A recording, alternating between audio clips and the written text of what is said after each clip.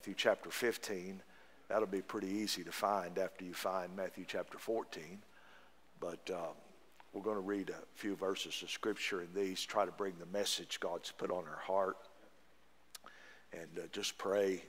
I want you to know everything that God did in, in the meeting in Illinois. If you prayed for us, you had a part in it. And just being a part of this church, you had a part in it. I thank God that I work with a group of men that will allow me to go. Amen. I don't go a lot, but I've been doing that meeting now for 20 years. And um, I'd be lying if I didn't tell you that when I went out there, I'm not just excited about the meeting, but I'm excited to be sitting in the woods where you might see a giant as far as a white-tailed deer. Amen. If you're not a deer hunter, you don't understand that. Amen. And I'll pray for you. Amen. Amen. But uh, it, it, it's it's a blessing. Amen. It, it really is a blessing. And uh, to go and and to know that folk at home are praying for us. And to come in the door this morning, if I've heard it once, I've heard it 50 times. Pastor, we missed you. And I want you to know I missed you all too. I mean that. I mean that. Thank you for being here this morning. Matthew chapter number 14, we'll begin reading in verse 15. And when it was evening, his disciples came to him, saying, This is a desert place, and the time is now past. Send the multitude away, that they may go into the villages and buy themselves victuals or something to eat.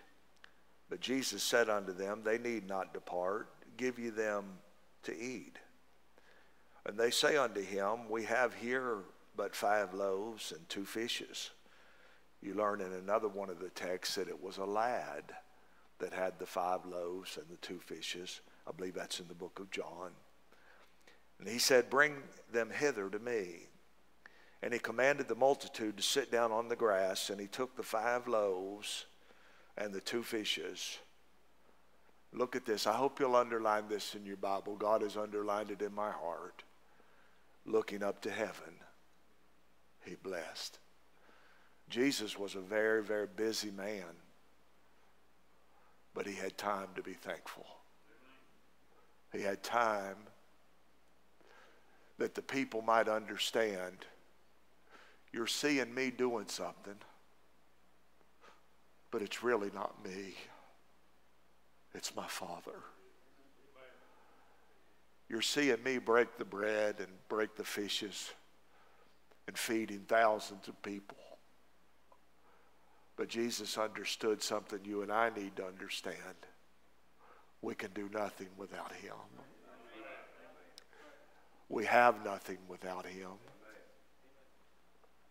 And the Bible said, and he said, Bring them hither to me. And he commanded the multitude to sit down on the grass. He took the five loaves and the two fishes, and looking up to heaven, he blessed, and he brake, and he gave the loaves to his disciples, and the disciples to the multitude. And they did all eat and were filled, and they took up the fragments that remained, twelve baskets full, and that they had eaten there about 5,000 men, besides the women and the children. You can be seated. We'll look at chapter 15 in a moment. Father, thank you tonight or this morning, Lord, for the privilege to be here at Bible Way with our people. Thank you for the wonderful Sunday school hour, Lord. Lord, I can only imagine, Lord, when I was Brother Jake's age, being that far away from home.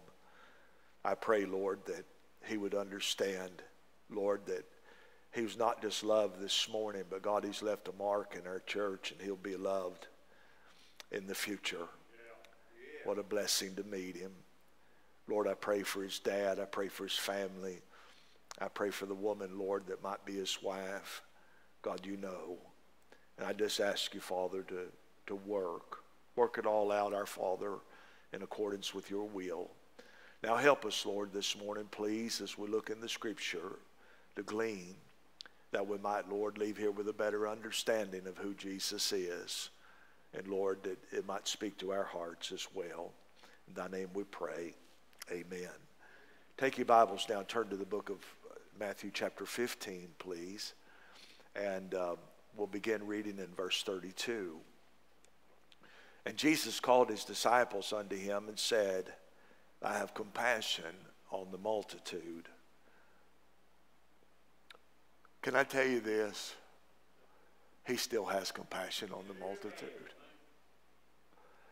One of the things that we learned, Brother Jim, when we were out there is that the young people in that area, many of them are astray. It's, it's an area that's infested with drugs and then just infested with bad stuff. And most of the young people are not in church. And, uh, and I guess that's probably true in Kingsport, most of the young people. Thank God the devil ain't got them all, amen. But thank God there's a remnant. But Jesus had compassion on the multitude. In the family, the daddy was saved, uh, um, uh, Alex, and uh, oh boy, I can't remember the lady's name now. It slipped me. It's uh, I can't remember. God help me. I've got them written down in my Bible, but I remember the teenage girl, Ariana. I remember Brother Larry the tears in her eyes. I remember the change in her face. If a man had to drive a 100,000 miles to see one life changed, it'd be worth it all. Amen. Jesus sees the multitude. He sees them. He has compassion on them. The Bible said, because they continue with me now three days and they have nothing to eat, and I will send them away fasting. He said, I will not send them away fasting, lest they faint in the way. And his disciples say unto him, Whence uh, should we have so much bread in the wilderness as to fill so great a multitude? I kind of feel small this morning in that I have read these texts many times. But after what we just read in verse in, in, in chapter number 14 with the 5,000, five loaves and two fishes, and you come over here and the Bible talks about uh, how many loaves have you? They said seven and a few little fishes. After you've just experienced what's went on in chapter 14, how in the world could you ask this question in chapter 15? How in the world could you ask Jesus, after just seeing what he did with 5,000, what are you going to do with 4,000? But I want to say this to you. We're a whole lot more like them disciples than we want to admit. He's come through on our behalf, Brother Anthony, time and time and time and time again and we're up against the wall again and like what are we going to do? The bible said here jesus said unto them how many loaves have ye? And they said seven and a few little fishes. I don't know what the little fishes were. I don't know if they were bluegills or sardines or we were talking about hunting brother michael. Now you might not hunt brother michael but michael number two back there he does. And me and this fella in Wise, me and him and his daddy went all the time together. And uh, his daddy never even saw a deer. Me and, me and my buddy, we'd usually kill a deer. His daddy, never, he couldn't even see a deer. I didn't see nothing. What'd y'all see? Found out where he was sitting one day, and he had the leaves all kicked out around the tree. And there was three sardine cans laying there. Y'all know what sardines smell like? As far as I'm concerned, you'd have to be desperate to put one of them things in your mouth. Amen. I don't know what the little fishes were, but there was a few of them. And he commanded the multitude to sit on the ground.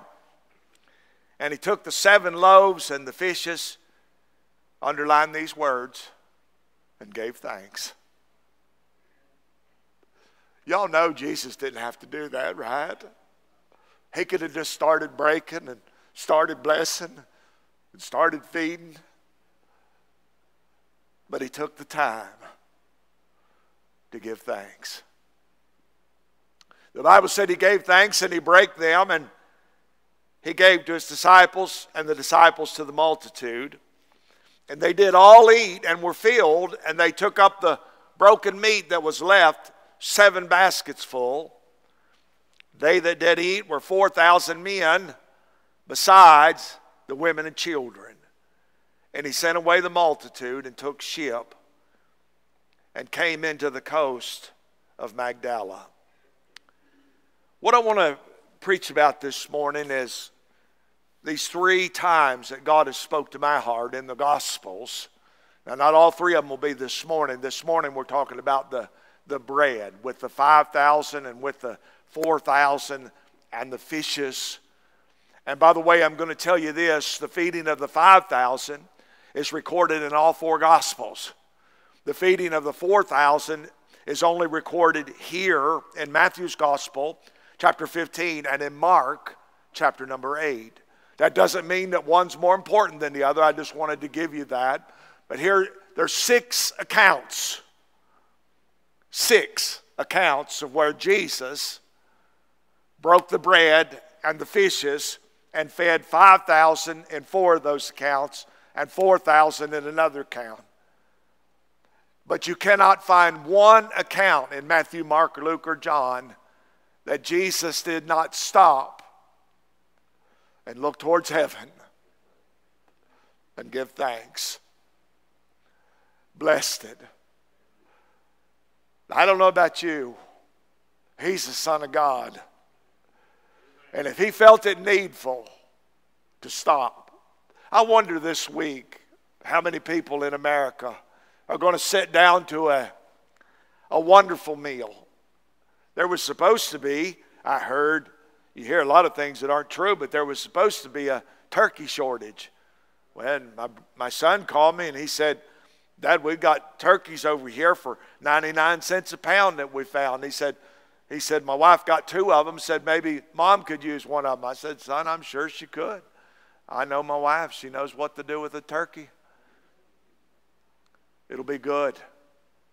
I don't know if there's a shortage or not, but I know this if our hearts was right on Thanksgiving Day, if we couldn't have a turkey, if we had a chicken leg, or if we had a peanut butter cracker, we could still turn our hearts towards heaven and say, That's more than we deserve.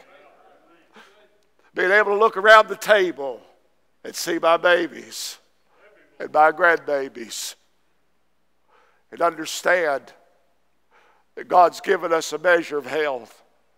God's given us a measure of love one for another.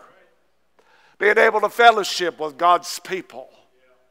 Beloved, we take so much for granted. And yet, God has given us a special opportunity to stop. There's three things I want you to notice in the message, and I'll be finished today. I'm about to get started, it won't take long. First, I want you to notice the multitude.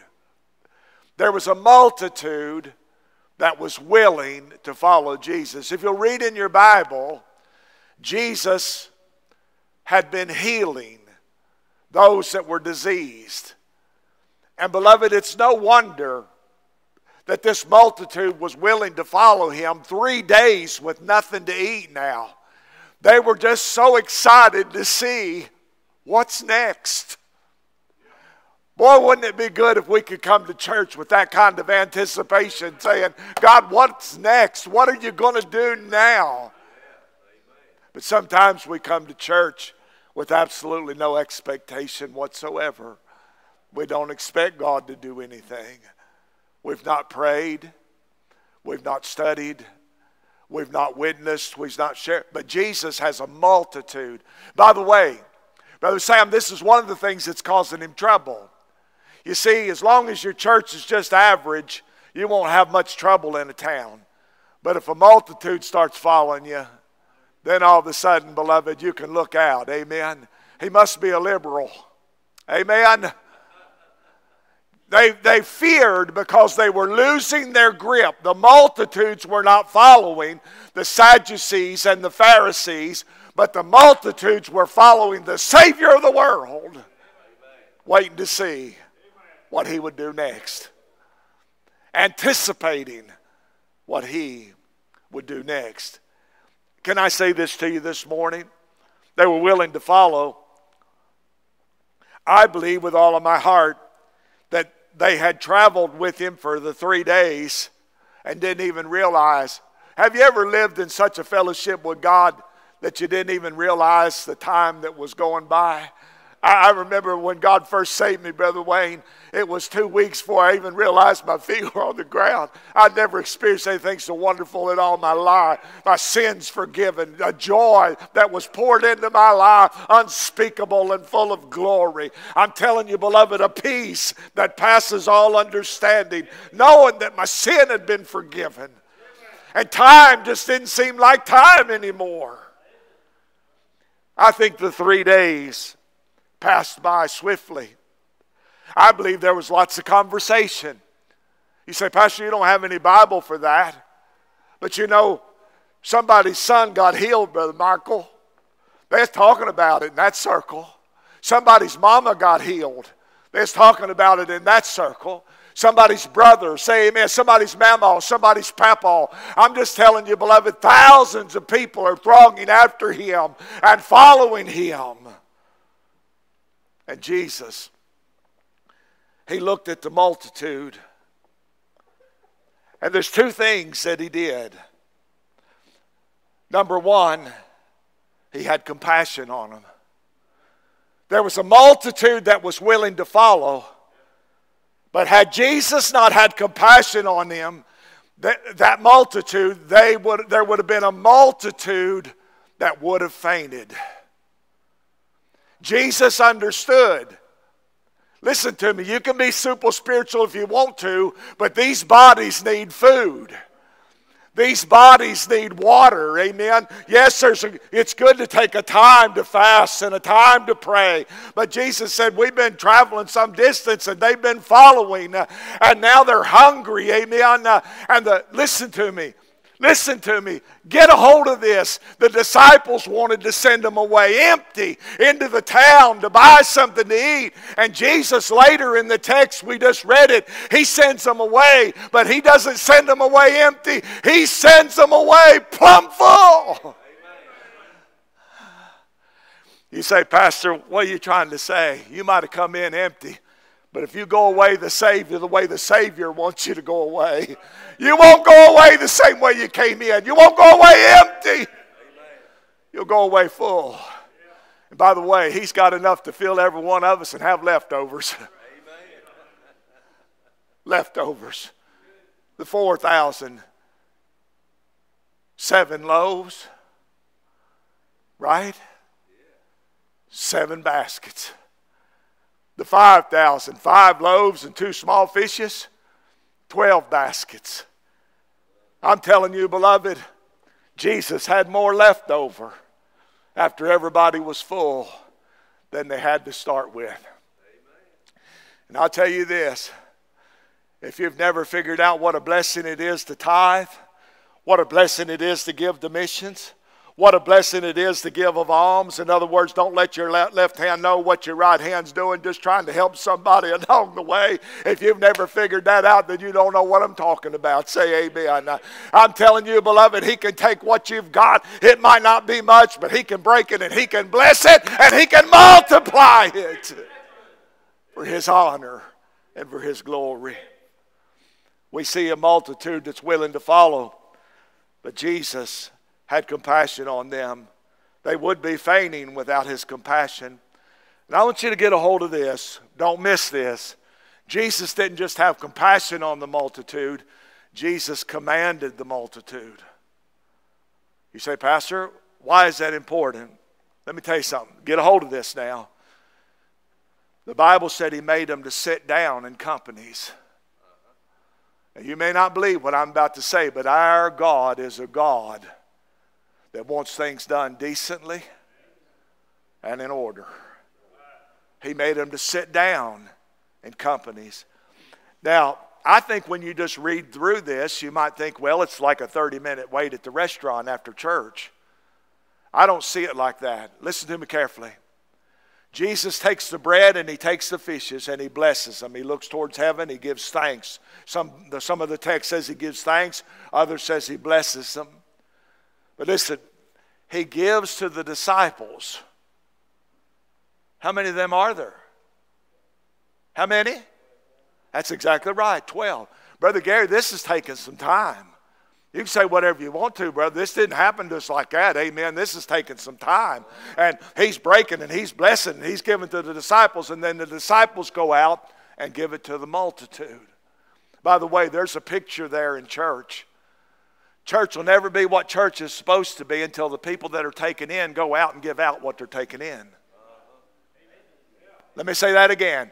Church will never be what it's supposed to be until the people that come into church and take in go out and give out what they've been taken in. Over in Israel, there's a place called the Dead Sea. And the reason it's dead is because it has an inlet. The Jordan River runs into it, but there's no outlet. And God, a lot of God's people, listen, they're saved, but they act dead because they have an inlet they sit with a bird, like a bird in the nest with the mouth wide open. Feed me, feed me, feed me. Sunday school teacher, feed me. Pastor, feed me. But they never give out anything that they've been fed. The multitude. We had a lady last week said something like this, and the only way I could have responded was in a form of rebuke, and I just didn't, I didn't feel led to. But she said, I, I never say anything to anybody because I'm afraid I'll offend them.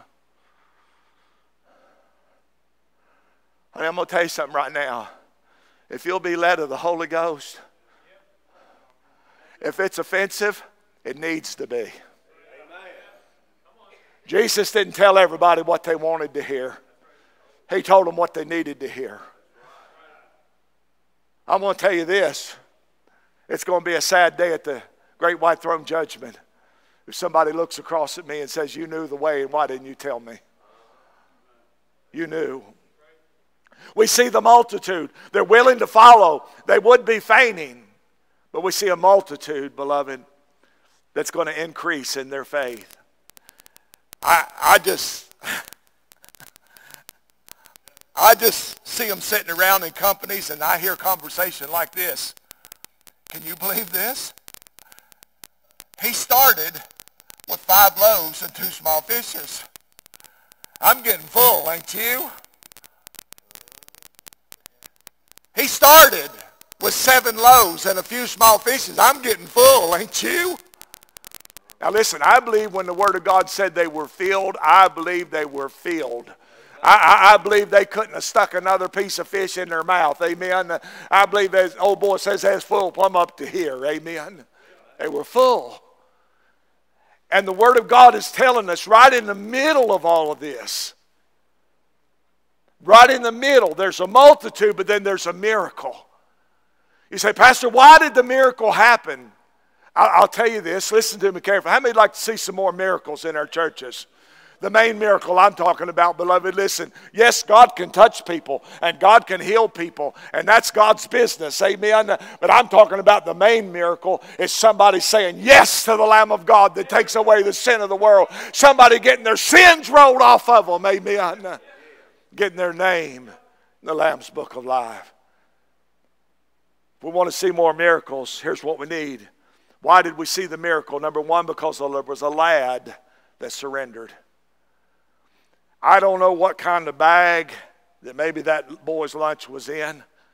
I doubt if it was a paper bag. I knew if they knew, I don't even know if they knew what a paper bag was. It may have been some kind of a basket. But I do not see where the disciples had to wrestle that boy and wrestle that lunch away from him. You know what I believe?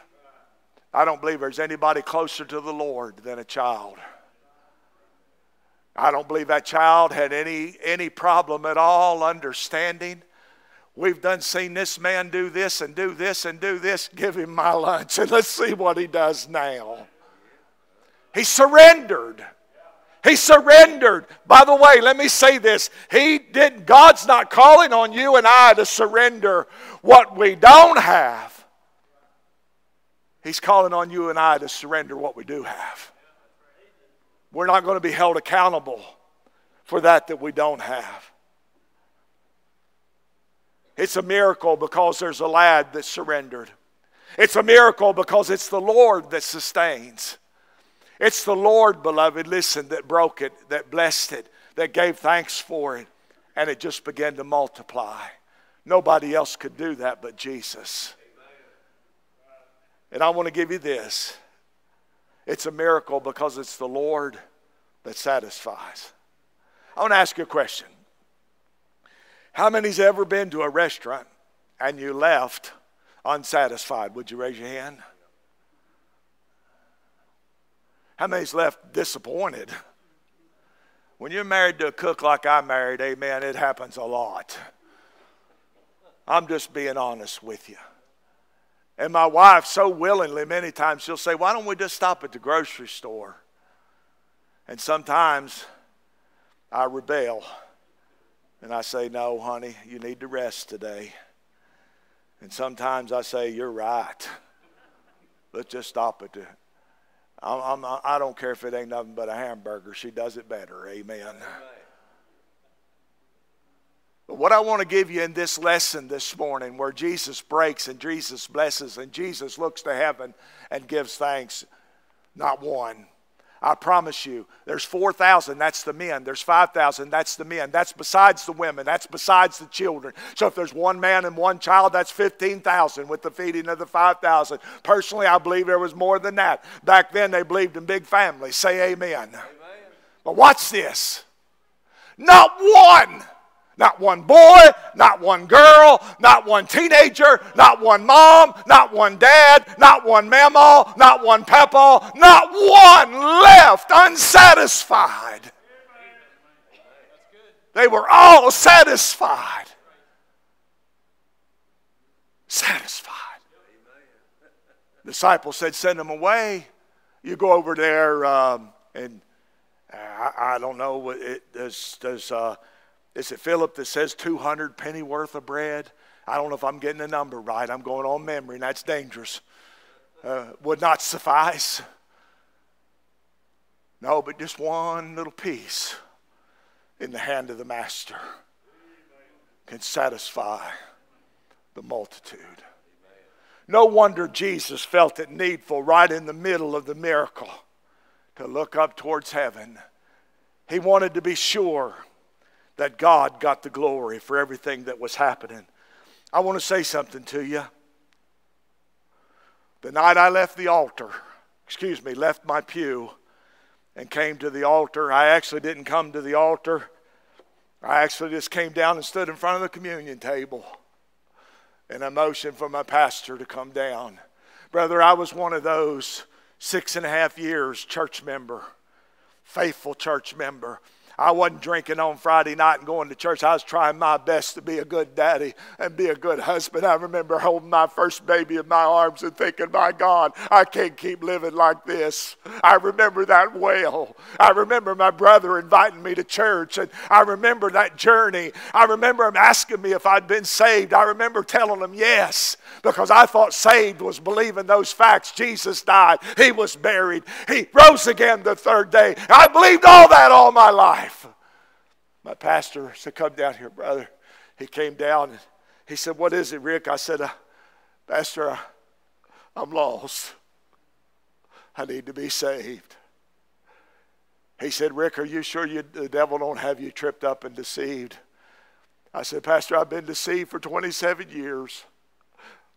I don't know if y'all know what sewer is or if you've ever smelled it, but I felt like I was standing in sewer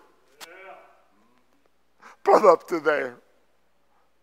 I, I, I, heard Brother Sammy talking about those rags last week where the leper, amen, would clean those sores. That's what our righteousness is. It's as filthy rags in the sight of God. I said, Pastor, I'm lost. I need to be saved. He said, Are you sure the devil don't have you tripped up and deceived? I said, Brother, I've been deceived for 27 years. That's why I have to stand here in this mess tonight. When I tell a story like this, or you find out somebody that was a, a deacon got saved, or somebody a preacher got saved, or somebody that was a church member, so listen, if you're saved, that don't bother you one bit. But I tell you, if you're not, it ought to bother you. Because, beloved, listen, I've never heard it put like that before riding a church pew to hell.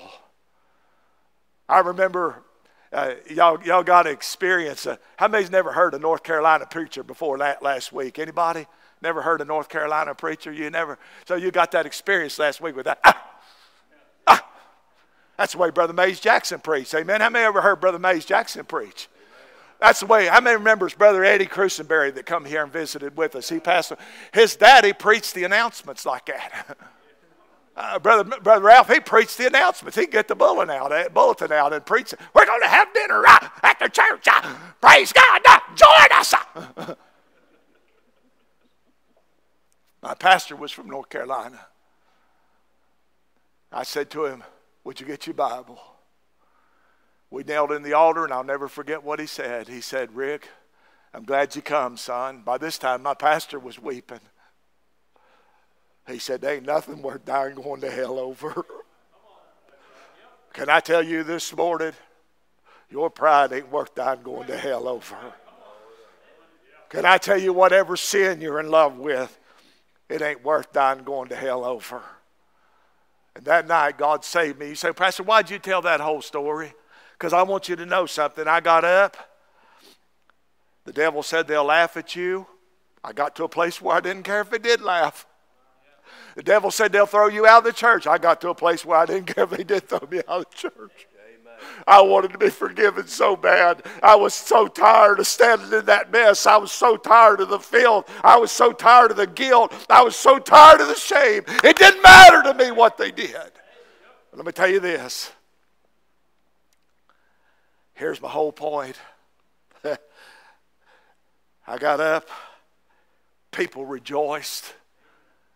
There wasn't hardly a dry eye anywhere. People, I used to play the piano before I got saved. One fellow said I was a Sunday school teacher before I, I thought I was the only religious man in the world that didn't know Jesus.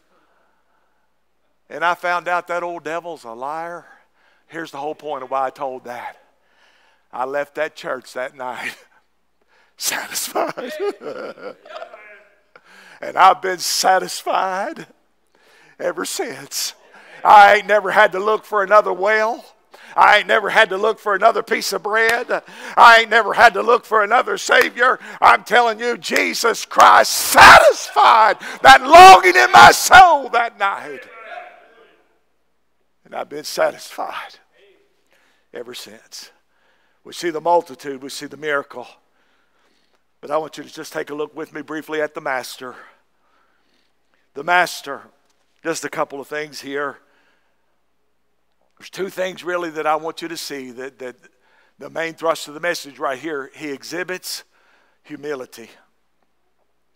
Jesus, we're living, Brother John, we're living in a church age where many of the preachers, they want to be the one that everybody sees. They want to be the one in the limelight. They want to be the one that everybody pays attention to. And I see Jesus with the 5,000, I see Jesus with the 4,000. And when he's looking up to heaven, now when it says he gave thanks, I don't believe he said, Lord, come through the crack, bless this snack, and go right back. I, I believe he done a little bit of praying there. I believe he might have said something like this Lord, I thank you that there's a multitude that's interested in what's going on here. Lord, I thank you for that little boy. Lord, I'm glad we didn't have to wrestle that lunch away from that little boy. I'm glad he just so willingly gave of what he had. Lord, I'm glad. I'll just go ahead and combine these last two points under the Master. Lord, I'm glad I've got these disciples here with me, Brother Gary, to help me, that I'm not here alone. I, am not in this all by myself. And, and Lord, I'm so glad that, Lord, you've worked this out today. Everybody's hungry. And Lord, you're going to show them, Lord, that there's only one way that everybody can be satisfied, and that's through Jesus. That's through a heavenly Father. I don't know what all he prayed. I won't be dogmatic about it. I know when Elijah prayed, I think it was just 39 words. It's not the length of the prayer, it's the heart of the prayer. When Peter was sinking, three words. What did he say? Lord, save me. Ain't that right? It's not the length of the prayer. What about the thief on the cross? Lord, remember me when thou comest into thy kingdom. Lots of times we think it's the length of the prayer. But if our heart ain't in it, it ain't going nowhere anyway. Sometimes it's not the length of the prayer, it's the humility, it's the understanding we can't do anything to help ourselves. But we can look to him. I'll lift up mine eyes into the hills from whence cometh my help. My help cometh from the Lord, which made heaven and earth. If he made this thing, then whatever we need, he can supply it. Amen. The thrust of my message this morning, the Lord dealt with my heart about. We're going to look at two others tonight and Tuesday night, God willing, is where Jesus right in the middle of a miracle, felt it needful to turn his eyes towards heaven. He looked up and he gave thanks.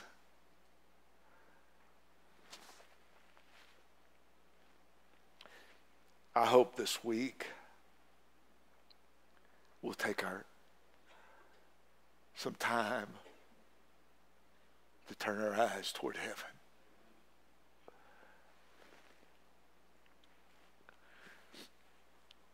I also hope this week that we'll take some time. See, Jesus didn't only turn his eyes towards heaven. The Bible said, Brother Wayne, when he saw the multitude, he was moved with compassion upon them. I'm all for a vertical vision. Where there's no vision, the Bible said the people perish. But we also need a horizontal vision. We need to be able to say, Michael, I thank God for you, brother. I know it might have seemed like an accident. That's the best accident I've ever experienced in a long time. Amen. He's looking up another church on his phone, and his phone let him hear. He told his wife, We're hearing the word of God here, we'll just stay. Amen. Some would say it's an accident. I'd say it's providence. Brother Michael, would I be right to say that you and I are closer right now than before you got sick? I've prayed for you more. We don't need, Sister Carol, just to look up. We do need to look up, but we need to look around. There's a multitude. Multitudes. I can't remember one of the prophets said in the valley of decision. Multitudes that need help. Let's pray. Come on, Brother Ralph, Sister Laura. Father, thank you this morning now for the privilege to break the bread of life. Lord, I'm glad that you recruited some help. You didn't want it to be, Lord, all about you. But Lord, you wanted the folks to know that you had a Father in heaven. You wanted the folks to know, Lord, you couldn't do it by yourself. God, I pray the folks at Bible Way would understand. Lord, no one can do it by themselves. We need each other. God, there's people sitting in our midst today that are unsatisfied. Lord, I don't know what it would take God, I pray some way, somehow, the Spirit of God would break through and show them, Lord, what they're missing. Just because, Lord, they're unwilling. God, I pray that you would help them. Lord, for us that know what it is to be fed by the Master's hand, to have a salvation that's true, that's satisfying, help us not to be guilty of keeping that to ourselves.